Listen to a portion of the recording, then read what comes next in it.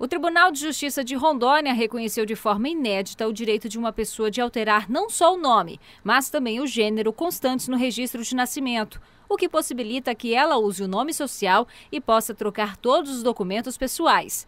Até agora, as decisões tinham sido apenas no sentido de retificação do nome. Esse caso mais recente, o, a, a pessoa solicitou a modificação do nome e do sexo porque ele fez o tratamento de transgênero, de mudança uh, de, de, sexo, o, de, diante de laudos técnicos, psicossociais, psicológicos, psiquiátricos, foi analisado pelo magistrado de primeiro grau que podia haver sim a mudança do nome, que a pessoa tinha um nome masculino e queria utilizar um nome no feminino, foi deferido, só que o juiz, eh, no caso concreto, pediu, exigiu que se tivesse ocorrido a, a operação, a cirurgia de mudança de sexo. E no caso, a pessoa interessada eh, não tinha condições ou não queria